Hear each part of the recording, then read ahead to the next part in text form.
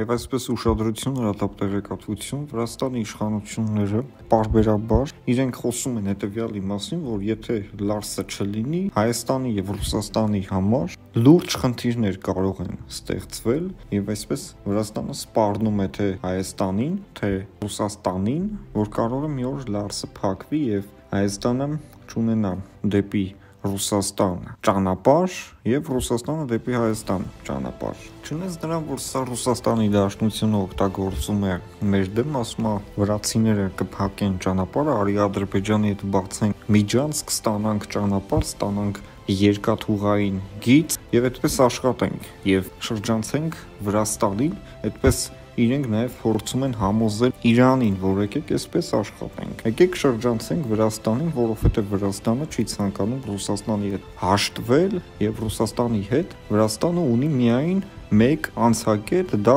Լարսի անցակետն է, որը ձմռանը երկարատև ժամանակով նաև լինում է փակ եւ անընդհատ աշխատանքներ են տարվում ձմռանը այդ ճանապարհը կրկին վերագործելու համար։ Եվ այդ աշխատանքների պատճառով բազմաթիվ անգամներ մեքենաները մնում են ճանապարհին ու հետևաբար առևտրաշրջանառությունը այդ ընթացքում սկսում է կանգնել եւ վատանալ։ Այդ էլ ազդում է տնտեսության վրա։ Գարնանը ջրհեղեղներից այդ ճանապարհը քանդվում է, իսկ ձմռանը ձյան առատ տեղումների պատճառով այդ ճանապարհը դառնում է անանցանելի։ Այսինքն ինքը ճանապարհը, որը ըստ էության խնդիրներ ունի եւ այդ խնդիրները վրացիները չեն ցանկանում լուծել։ Այստեղ վրացիներին պետքա Նաև շնորհակալություն հայտնել, որ այդ ճանապարհը միջև այսօր կա, որովհետև Ռուսաստանի Դաշնության հետ պատերազմում իրենք գրել են պարտություն դրանից հետո Ռուսաստանի հետ բաց սահմաններ են ունեցել։ Եվ եթե դա տեղի չունենար, Հայաստանը կմնար շրջափակման մեջ լրիվ եւ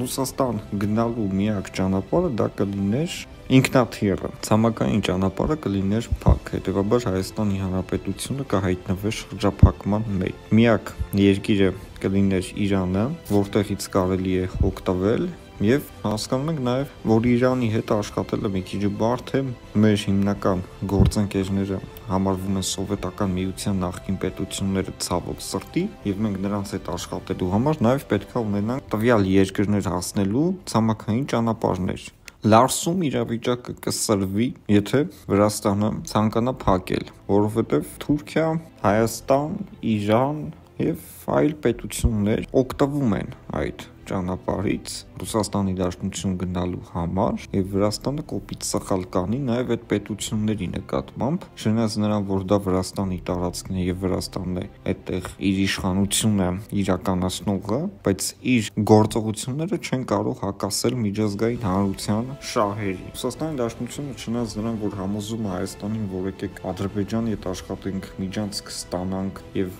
այլն Ադրբեջանը ստանալու է մի քանի կիլոմետրանոց միջանցք ենթադրենք ուղիղ միջանցք եւ այդ միջանցքի շնորհիվ ինքը չի շփվում հայ հասարակության հետ, մաքսային ծառայության աշխատակիցների հետ, Ադրբեջանից Նախիջևան գնալը, իրենք այնպես են գնալու, որ նույնիսկ չեն հասկանալու, որ այդ միջանցքում են գտնվում։ Իսկ Հայաստանին ասում են դու կգնաս, կանցնես Ադրբեջան, Ադրբեջանի ճանապարհներով կերթևեկես կգնաս Ռուսաստան կամ Իրան։ Հայաստանի պետական շահը այստեղ գոյություն չունի, այսինքն Ադրբեջանի հարցը լուծում են Հայաստանին էլ ինչ որ բան են խափում, ճանապարհ դնում։ Հասկանում ենք, որ հայկական համարանիշներով բեռնատարերը կամ մարդատար մեքենաները չեն կարող մուտք գործել Ադրբեջանի տարածք եւ անվտանգ ակետից հասնեն Բեկետ, այսինքն Ռուսաստանի Դաշնության պետական սահման։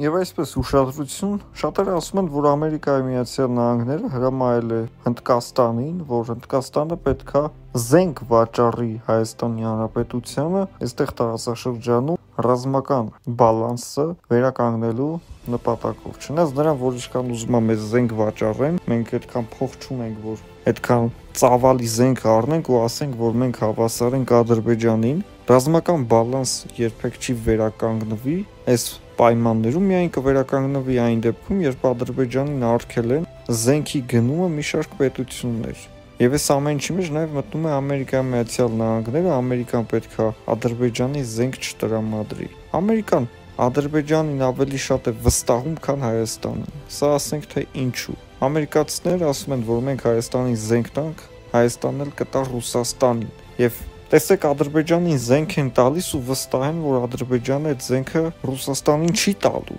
բայց Ռուսաստանի Դաշնությունը այսօր Ադրբեջանի հետ ունի նույնքան լավ հարաբերություններ, ինչքան որ Հայաստանի, չնայած նրան, որ կասկածում ենք, որ Հայաստանին իրենք լավ են վերաբերվում, Ամերիկայի Միացյալ Նահանգները հրահանգել է Հնդկաստանին Հայաստանին զենք տալ, եւ մենք տեսանք, որ Հնդկաստանը բավականին բարեկամաբար է տրամադրված մեր նկատմամբ ու Հնդկաստանի տված զենքերը համաշխարհային մակարդակով համարվում են բավականին ուժգին զենքեր եւ դա մեր տարածաշրջանի համար իր գործողություններով կարող է ապացուցել իր պիտանելությունը։ Ինչը չէին գասի ռուսական զենքերի մասին, ռուսական զենքեր են գնել միլիոնավոր դոլարների եւ դրանք եղել են ըստ էության անպիտան։ Եղել են անպիտան եւ պատերազմի ժամանակ բացահայտվեց հետեւյալը, որ ունենք զենք զինամթերք, բայց ըստ էության կարելի ասել չունենք, որովհետեւ չեն աշխատում, չեն կրակում։ Զենք կա, փամփուշտ չկա, փամփուշտ կա, զենք չկա, այս վիճակով մենք ընդունել ենք Ադրբեջանի մարտահրավերը 2020 թվականին եւ դրա համար էլ մենք ձախողեցինք ամեն ինչ, այսինքն մեզ ձախողել են Ռուսաստանի Դաշնությունը, Թուրքիայի եւ Ադրբեջանն հետ միասին։ Իրենք ամեն ինչ արել են, որ Հայաստանը 20 թվականին ընդունի իր պարտությունը եւ Լեռնային Ղարաբաղի հարցի կարգավորում իրենք հասկացել են, որ դա պետքա լինի պատերազմով եւ Հայաստանը անպայման պետքա պարտվի այդ պատերազմում եւ եթե նույնիսկ Հայաստանի պարտությանը նպաստող քայլեր Ռուսաստանի Դաշնությունը պետքա անի, ապա Ռուսաստանը դա կանի։ Մենք դա հասկացել ենք 20 թվականի պատերազմի արդյունքում եւ դրանից հետո եղած բոլոր բանակցություններում։ Ընդդեմ Ադրբեջանի որևէ որոշում հապկը չընդունեց, այն դեպքում, որ ռազմական գործողություններ էր տեղի ունենում Հայաստանի սահմանների դեմ, նույնիսկ Թշնամին այսօր գտնվում է Հայաստանի սահմաններից ներս ու դա հապկի համար խնդիր չէ եւ այս կառույցը պետքա վերանա, պետքա փակվի եւ այս սա կառույց չէ, սա հանցագործների ինչ որ մաֆիա է, որտեղ հավաքվել են երկրներ, որոնք ըստ էության ուրիշ բան են փորձում անել այդ կառույցի անվան տակ կառույցը այն չէ ինչը ներկայանում է ամբողջ աշխարհին տվյալ կառույցը ծառայում է Ռուսաստանի Դաշնությանը եւ Ռուսաստանի Դաշնությունը ինչպես որոշի այդպես էլ պետք է ամեն ինչ տեղի ունենա Մենք նաև ինչ որտեղ հասկանում ենք հետևյալը, որ Ռուսաստանը աչք է դրել սովետական միության նախկին պետությունների տարածքների վրա եւ ինքը փորձում է այդ տարածքային ամբողջականությունը, որը կար սովետի ժամանակ հիմա վերականգնի եւ դրան նպաստող քայլեր իրագործում, մենք չենք զարմանա, որ շուտով Ղազախստանից, որը համարվում է աշխարհի մեծ պետություններից մեկը իր տարածքով, տարածք